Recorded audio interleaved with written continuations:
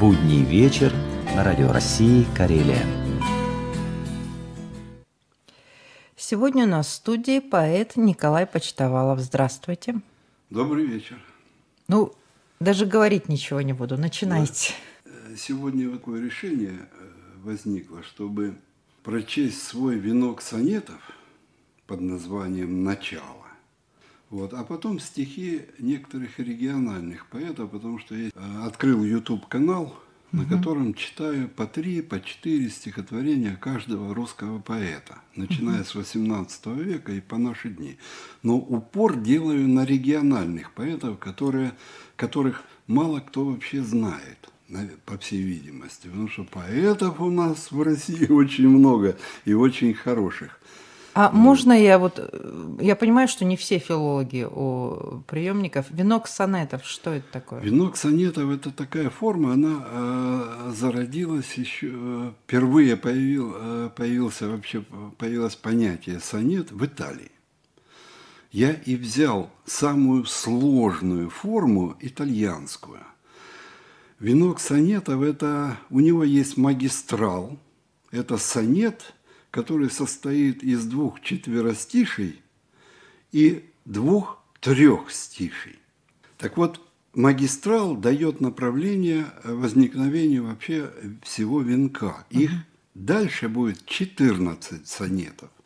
Первая строка первого сонета начинается с первой строки магистрала, заканчивается второй строкой магистрала – Второй сонет начинается со второй строки и заканчивается третьей, ну и так далее. Понятно. То есть, ну, сложнейшая форма, тем более и рифм там очень много повторяющихся, нужно где-то их выискивать, эти рифмы. Но давайте начнем. Давайте, давайте, давайте. Почему начало? Потому что мы же все задумываемся о своем начале, о личном. Где, как, семья, откуда, кто дал толчок, чтобы родился, в конце концов, в этой цепочке и я тоже в этой жизни. Вот такой венок сонетов. Начнем с магистрала. «Прости меня за все, мое начало. Так связан с прошлым я незримым чатом. Судьба всегда с началом жизнь сличала, хотя пружина времени разжата. Лечу куда-то, в небе нет причала, Куда бредут рассветы и закаты? Не Божьим словом жизнь меня встречала. Мы все у Бога не друзья, солдаты. Никто не знает быть какой дороге. Холодный ветер сдует в одночасье. Что он запишет, мой внештатный блогер? Какие будут в этой жизни страсти? Начало можно встретить только в Боге. Быть заодно с началом – это счастье. Сонет первый начинается с первой строки. «Прости меня за все, мое начало. Мне кажется, что жизнь пока на взлете. И есть всегда хоть чуточку запала, И воздух сух, и для полета плотен рассвет в окно. Есть время до финала, но каждый день сегодня на учете.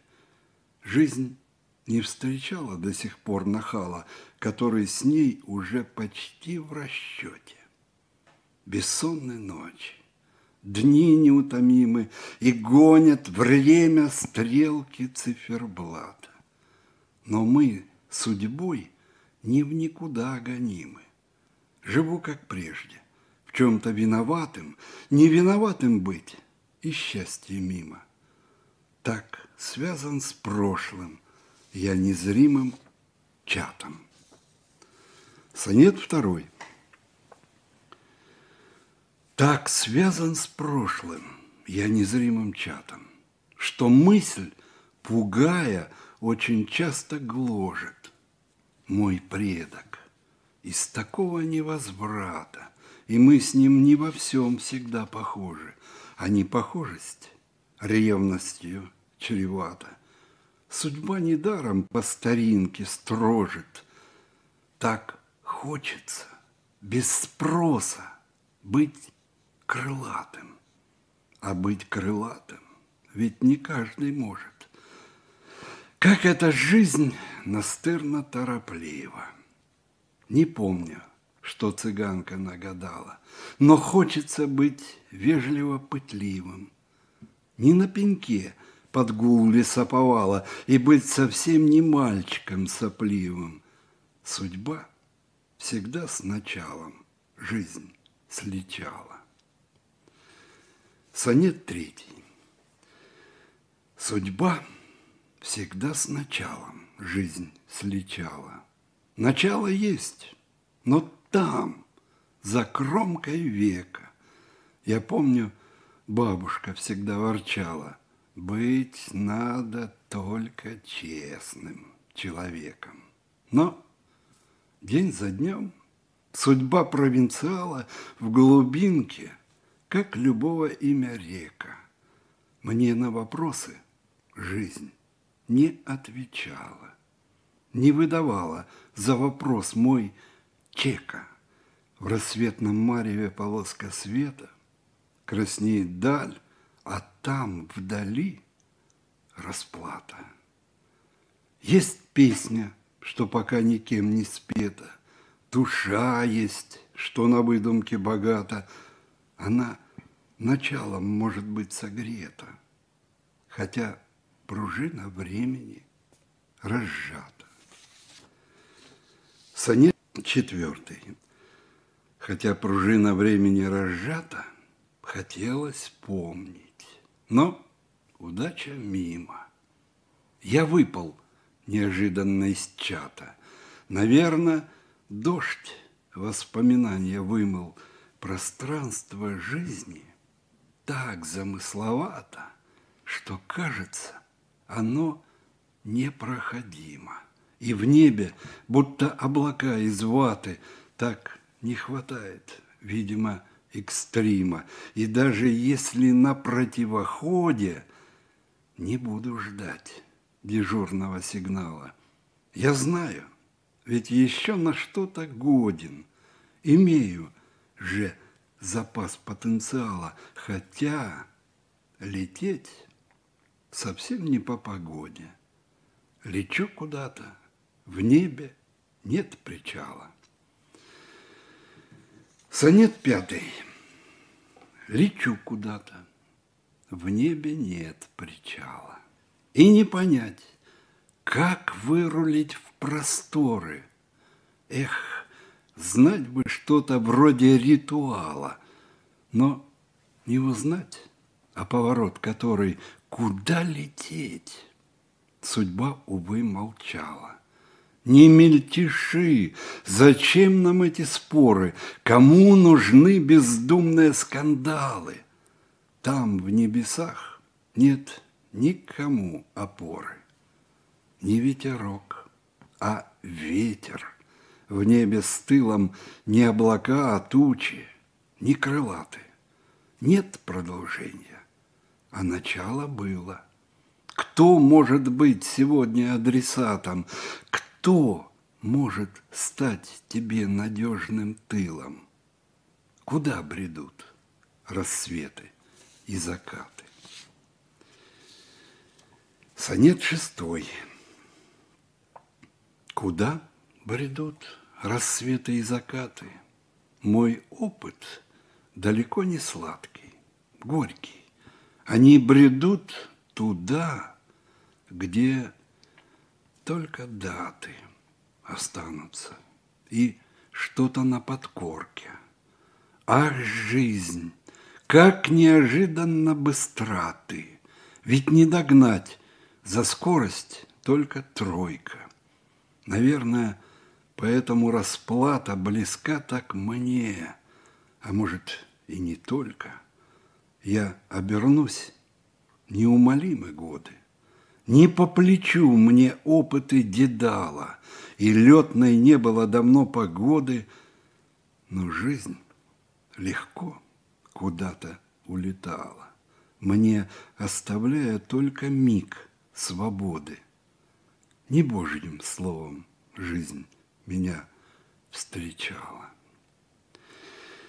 Сонет седьмой.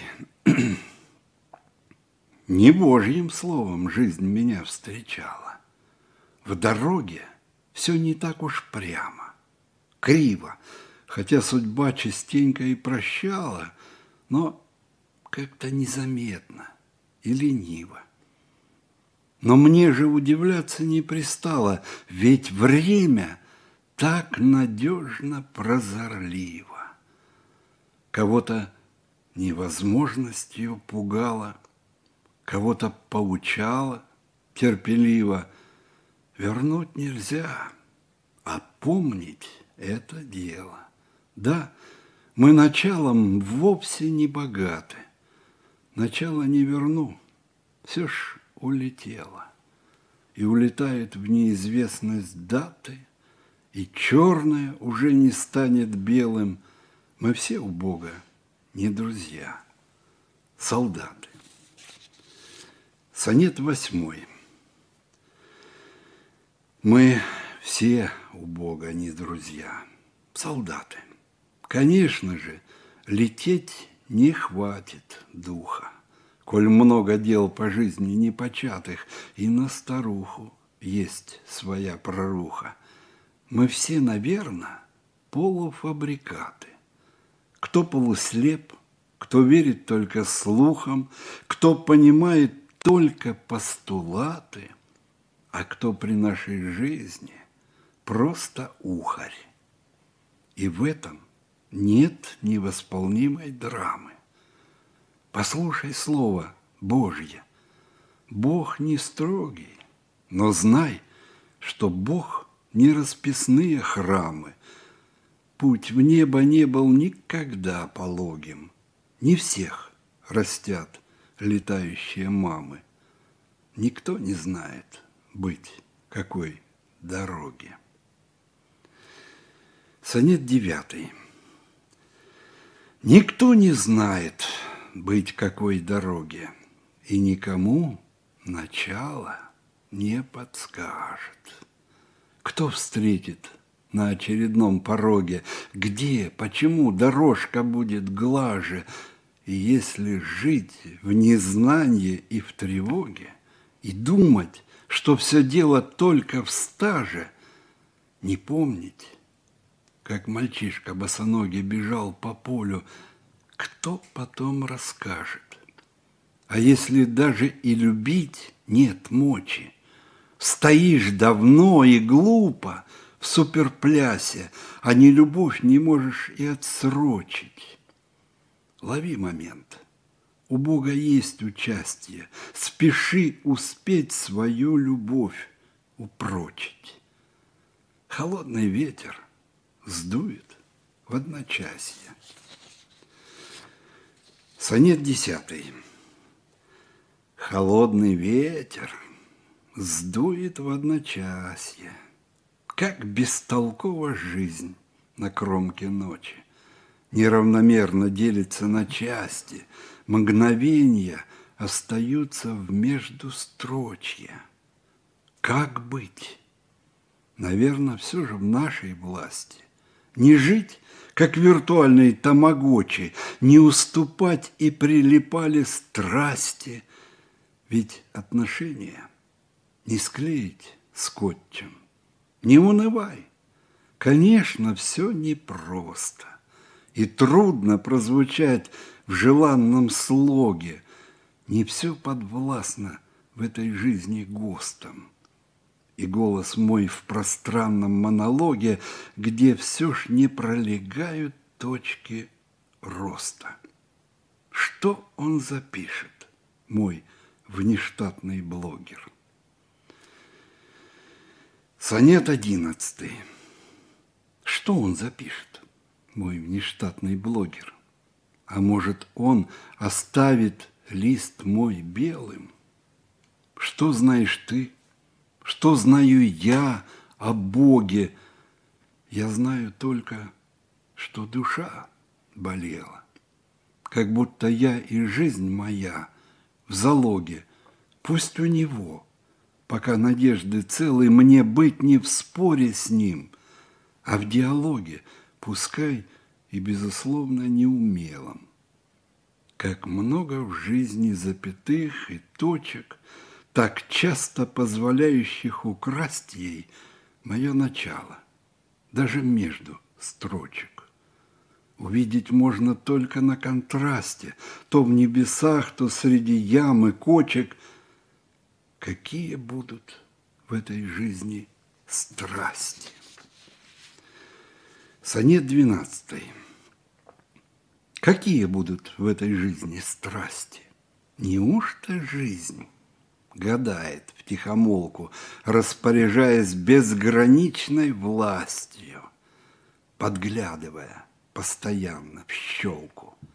А мне опять входить в нелепый кастинг, где выбирают, как на барахолке, и я к процессу этому причастен и вынужден копаться в кривотолках.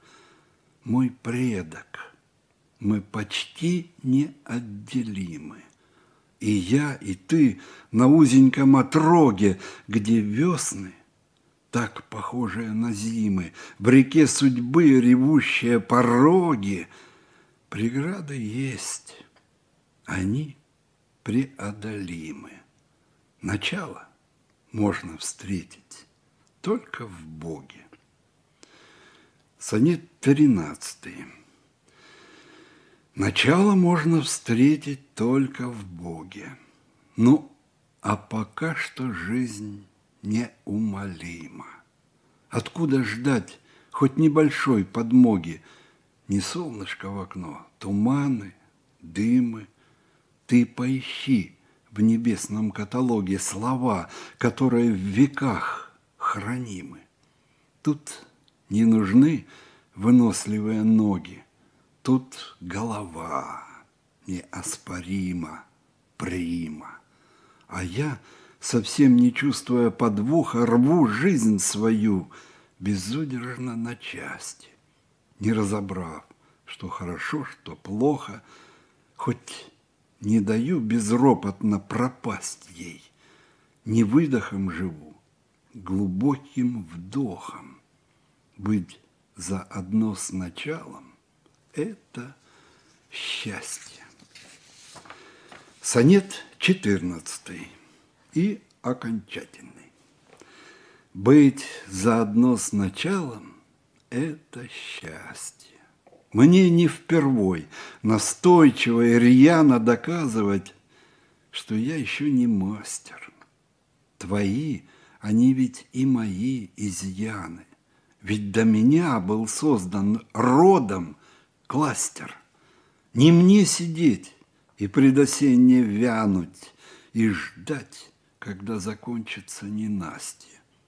Не мне же петь усталости осанну. Не так уж много радостей на свете.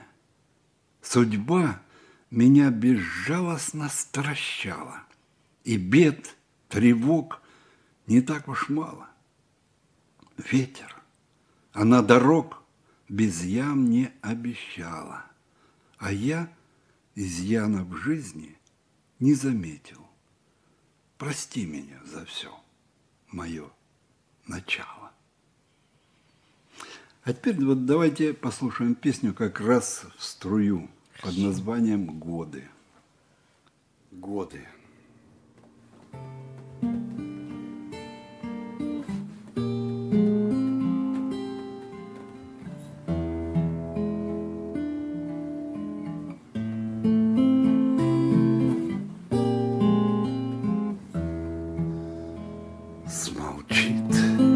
испуганная осень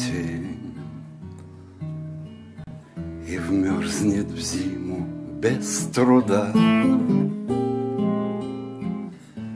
Свои одежды в поле сбросив Оставив капельки стыда. И я войду с осенней грустью Замерзший сад моих надежд.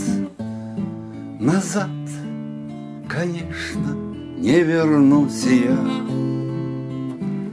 густо поток реков невежд.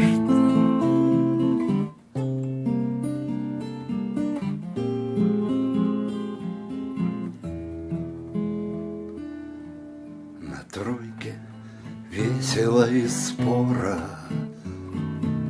Промчусь по снежной колее потеряв на льду опору. Очнусь весенней полынье Сожгу в костре охапку листьев Согреюсь и за солнцем вслед С букетом неуемных мыслей.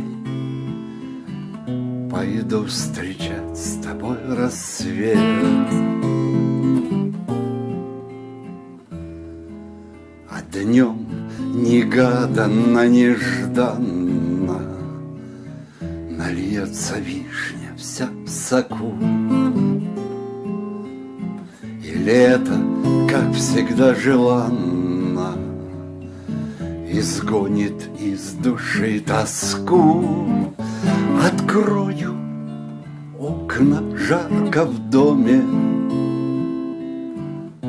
А за окном дожди висят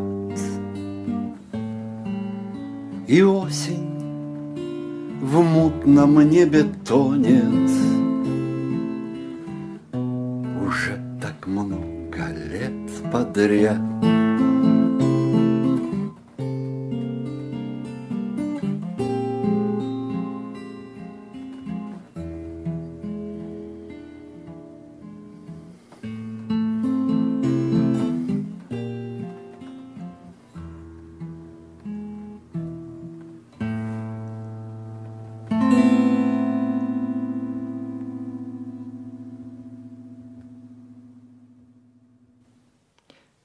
переходим к вашей мечте собрать вместе всех российских поэтов. И кого вы нам сегодня Вот представите? из моей коллекции, которая уже набирается так довольно серьезно, уже более 600 записей на видео, вот, я хочу несколько взять э, поэтов хороших. Амурская область. И фамилия Амурский, Виталий Амурский, 44 года рождения. Бабье лето. Бутылка вина из Тосканы, облака вдалеке, вроде неких кулис. И искрит золотистая влага стаканы в сотни метров от моря, где плавал улис, где по-прежнему в шуме прибоя ленивом чаек крик, да извечной тоски бирюза лишь глазам северянина чудятся нивы. Что поделаешь, если такие глаза? Листва. В десятый раз, или, быть может, в сотый, октябрь мне наговорит, наговаривает стих.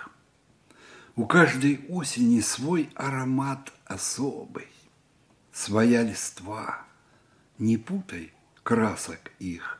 Я ничего не путаю, но право прикусываю кончик языка, когда небес бездонная сопрано ее падению вторит свысока. Она в палитры превращает скверы, тенями пробегает между строк и, очищая глаз от разной скверны, природы возвещает торжество. В ней отблеск паутинок ветром сдутых, стволов и веток, обнаженных ржавь. В ней годы сжались до недель и суток, как можно в книгах жизнь и чувство сжать. На грани света, тихого и жеста, Воятеля неведомой красы Лети, листва, светись, мое блаженство. Не взглядывай украдкой на часы. Времена. Копали, что-то сеяли, стремясь быть крепче стали. А стали фарисеями и иродами стали, размахивали флагами, мол, нынче сладко зажили, в то время как гулагами нас хоронили заживо. И Марксы, и Плехановы читай, учи, пожалуйста.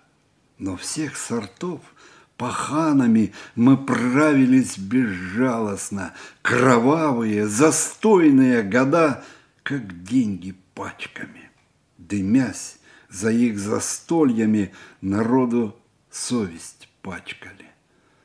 Ах, перестройки, выплески!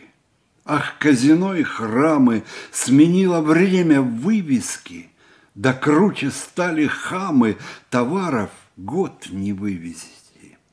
Плати, витрин не вышибешь, а ты, бабуся, милости, проси, авось и выживешь. Архангельск. Кимакова Ирина Леонидовна, 74 -го года рождения. Прекрасная поэтесса. Только вспомню, и мурашки по коже. И заноет сладко так, под ключицей. Полдень осени, на лето похожий, теплым светом, будто медом сочится – Золотистым этим светом обласкан, Мне навстречу ты идешь по аллее. Желтый лист к тебе слетает на лацкан. Ты смеешься? Я от радости млею. Было всякое потом, не сложилось. Белый свет давно обиды не застят И живет в моей душе.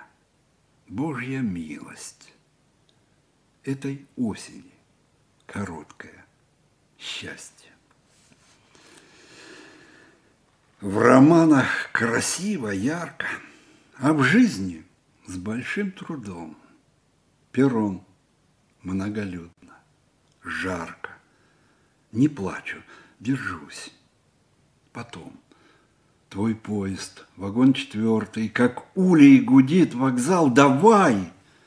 И не пуха, к черту, и жадно, глаза в глаза, стыдливо, губами в губы, душою к другой душе, которая здесь и любит, а мыслями там уже в набитом людьми вагоне, из лета в сентябрь сырой, где в нудных дождях утонет любовь и июльский зной.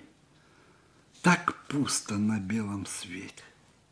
Уехал под крик ворон растрепанный, сонный ветер лениво метет перрон. Пятый лепесток. С молоду сирени не везло. Уродилась неприметной, чахлой, не цвела почти и слабо пахла. Как поймешь страдалицу без слов? Да кому-то надо понимать. Дел других на Божий день хватает. Почему сирень не расцветает, не смущала ни отца, ни мать? Я с других кустов цветы рвала, Пятый лепесток искала рьяно. Молодость пахучим, дурно пьяном голову вскружила и прошла. Нападала черная тоска, приходилось в жизни, ой, как туго. И не лепесток, а пятый угол чаще доводилось мне искать выпутаться сложно из тенет. А весною вдруг случилось чудо. И пришло, я не ждала откуда, старая сирень вовсю цветет. Нужен был лишь маленький толчок. Так и для надежды надо мало. Пятый лепесток я отыскала. Вот и жизнь наладится еще. Мартовская. А ждать остается всего ничего до глянцевых листиков клейких. Полета на вольный простор луговой пчелы из медовой келейки. Все будет в свой срок, в свой черед. А пока дыши влажным воздухом вешним. Ах, как шоколадны кусты ивника, скворцов ожидают скворешни, В своем ожидании щемящей тихи, Сугроб ручейками подточен, С рассвета сиреневой дымкой ольхи Легко горизонт оторочен. Под мартовским солнцем оплавился лед, Порог над открытым колодцем Хоть век проживи, а весна — настает. Мечтается, верится, ждется. А теперь в Вологду поехали. Поехали. Мишенев Василий Михайлович, 58 -го года рождения. Недавно ему был день рождения. Все листья с деревьев опали, и стало видней из окна. Родные осенние дали при свете короткого дня. Живу с постоянной тревогой в измотанной бытом душе, и пыль над моей дорогой, и мусор в моем шалаше. Ах, время, ты так быстротечно, боюсь ничего не успеть. Так хочется словом сердечным кого-нибудь в жизни согреть. С молчаливых небес свет далекий струится. На родимой земле снова радостно мне, но в лесу поселилась угрюмая птица и ужасно кричит по ночам в тишине. Я подолгу не сплю. Бродят тихие тени, законная мгла давит в окна мои. Что ж ты, птица, кричишь, будто вестник измены. Ты не знаешь, как трудно сердцу жить без любви. Был когда-то и я и счастливым, и юным, от того, что любовь не сумел я сберечь. У гитары моей ветром порваны струны и в холодной избе не затоплена печь. Ну, у нас все время выходит эфира, но я очень хочу, чтобы мы еще вашу песню послушали. Ну, давайте послушаем. Мы много не успели. Да многовато. Многовато. Ну, ну придется еще страшного. раз прийти, да? Хорошо. Что мы будем слушать? Давай уедем. Слушаем. Давай уедем. Давай уедем в стареньком вагоне Под номером 13 в сентябре.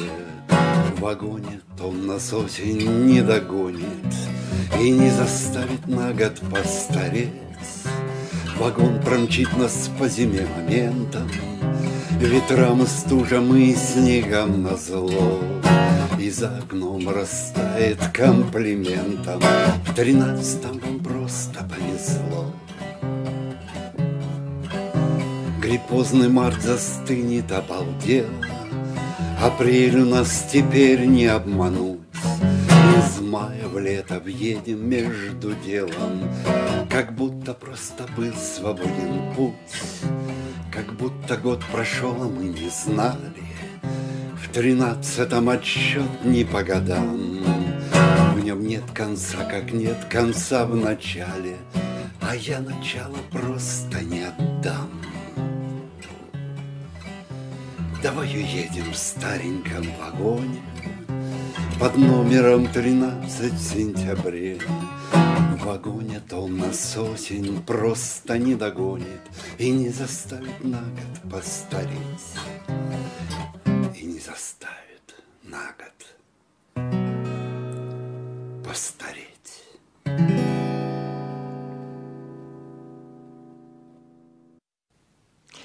Сегодня у нас в студии был поэт Николай Почтовалов. Для вас работали звукорежиссер Роман Агапов и я, Татьяна Шедловская. В режиме реального времени вы можете слушать Радио России Карелия не только у карельского провайдера Сампару, но и на официальном сайте ГТРК Карелия ТВ дефис карелия.ру.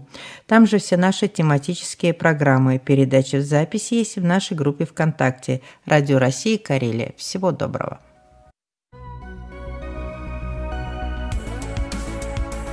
Вы слушали Радио России Карелия.